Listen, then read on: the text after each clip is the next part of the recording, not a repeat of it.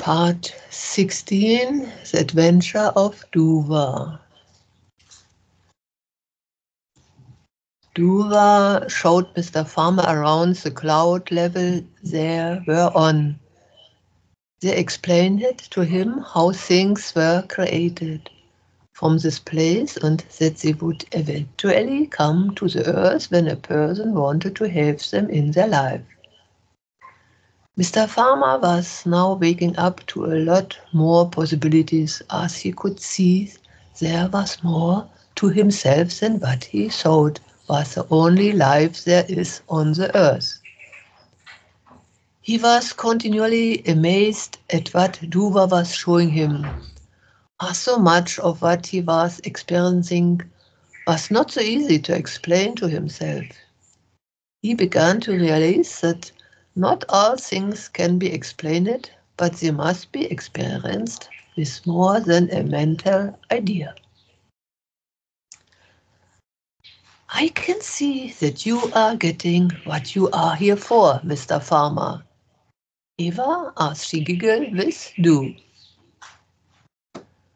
Oh yes, I'm amazed and at the same time I'm realizing how much I really Du not know about what I'm doing on the earth and my life as a person there.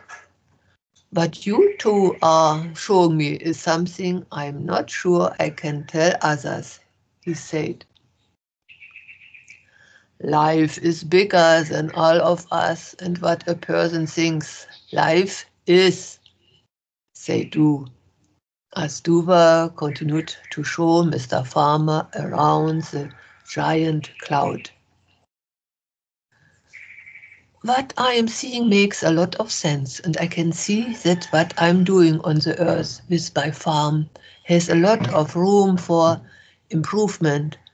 All this is so exciting, and I want to do better than I ever have before, said Mr. Farmer, as he laughed and was so happy to be free.